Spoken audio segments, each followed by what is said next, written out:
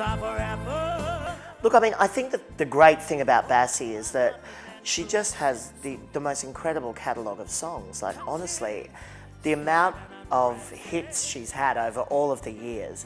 And I mean, we're talking about a singer who started her career in the 50s and still had a hit in 2001. It's around an hour and a half to get ready for a show. I, I spend, you know, depending on how much time I have, because sometimes you've got to, you know, it's running late or there's a tech rehearsal right before, but I like to have a good hour and a half because getting into this look, and I mean, for Bassey, the makeup is so different. I look so incredibly different to what I actually look like.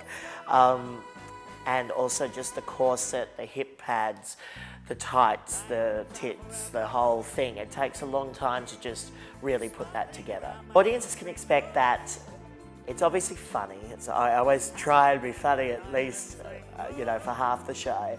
Um, but I think that the greatest thing about this show is just, it's the songbook, it is the music, and we have a 14-piece fabulous orchestra on stage with me.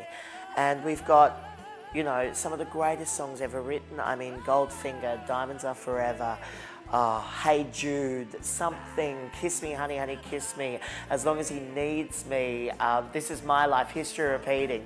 Amazing, amazing songs. And I do 19 of her numbers, and, you know, it's everything uh, from the beginning of her career to now. And I think it's a, it's a wonderful evening of music and laughter.